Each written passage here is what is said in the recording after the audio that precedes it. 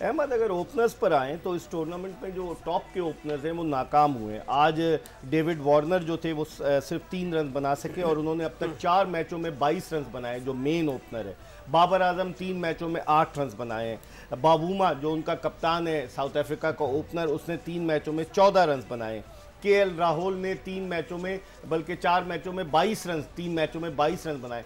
Openers जो top के openers हैं आज एरून फिंच ने तिरसठ रन स्कोर किए लेकिन फिंच भी नाकाम हो रहा था। तो आप क्या मेन रीज़न क्या समझते हैं? बाउंसी ट्रैक्स या फिर ये कि इब्तदा से ही जाकर मारना जैसे न्यूजीलैंड का डेवन कॉनवे भी इतना सक्सेसफुल नहीं रहा जितना वो माजी में रहा देखिए मेरे लिए जो सबसे ज़्यादा इंपॉर्टेंट चीज़ होती है वो ये होती है कि आपके आउट होने का तरीका क्या है। हम्म। आप अपनी बैटिंग किस तरह कर रहे हैं?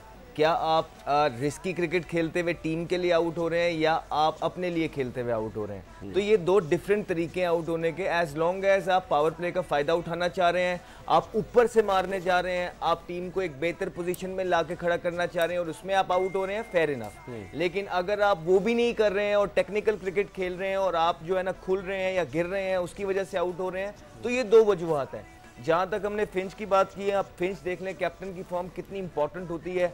अभी ये जो अगर मगर की सूरत हाल है इतनी स्ट्रॉन्ग जो उनकी टीम है लेकिन उनका कैप्टन स्कोर नहीं कर रहे बड़े अरसे से जिसकी वजह से उनकी टीम का पूरा मोराल हमें डाउन लगा। आज की है आज की है लेकिन आई डोंट थिंक कि ये कितना काम आएगा उनके। उनकी जो जो पार्टी थी वो स्पॉइल कर दी टक्कर ने। हाँ। क्योंकि उनको रन रेट की बहुत ज़्यादा ज़रूरत थी और जो एंड में टक्कर वो 71 स्कोर कर गए। तो इसने इसको बड़ा स्पॉइल किया है। तो आप ठीक कह रहे हैं कि यू नो ओपनर्स जो हैं उनकी जो फॉर्म है it's a sign of concern Javed भाई अगर हम बात करें जी आप कुछ कहना फॉर्म फॉर्म की आप बात करें। दरअसल देखें क्रिकेट में अगर आप हर जगह एडजस्ट नहीं करेंगे ना हम्म। अपने आप को ट्यून नहीं करेंगे इतना आसान नहीं है। एक टेक्निक से आप क्रिकेट नहीं खेल सकते। हाँ। क्योंकि डिफरेंट डिफरेंट जगह है। सही है ना?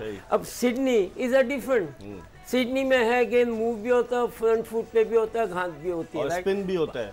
अच्छा आप पद जाए पद पे सब बाउंसी विकेट रहेगी ठीक है ना? अच्छा आप ब्रिजबेन में खेले वहाँ भी बाउंसी और ग्रास भी होता है हाँ, हाँ। दोनों चीज़ें हो रही होती है राइट तो ये आप वन टेक्निक से जो है ना वो ऑस्ट्रेलिया हमेशा प्रॉब्लम में आएगा जो भी बैट्समैन ठीक कह रहे हैं। क्योंकि आप वहाँ पर एडजस्ट नहीं होते। आप फ्रंट फुट है आपका पहले पद में होता है यहाँ पर मैच है। आ, तो फिर आप कैसे आपको मुश्किल फिर आप अंडर प्रेशर आ जाते तो, तो क्रिकेट में जो जावेद भाई कथा कलामी जी ये बताएँ कि चार ओपनर्स के साथ हम जा रहे हैं।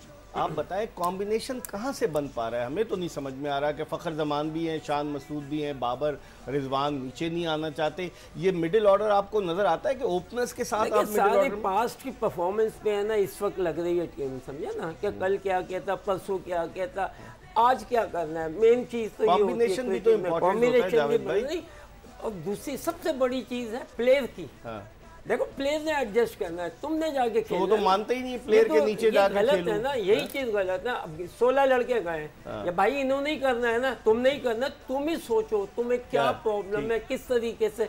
हम भी थे हम अपने आप को ट्यून करते थे ना हाँ, जाके प्रैक्टिस करते थे घंटे घंटे देते एक जगह पे चार चार शॉट खेलते थे आठ आठ शॉट तो इसकी भी प्रिपरेशन है तो इंडिविजुअल और कलेक्टिवली कलेक्टिवली जब है जब आप फील्डिंग कर रहे हैं। वरना बॉलिंग बैटिंग फील्डिंग इंडिविजुअल है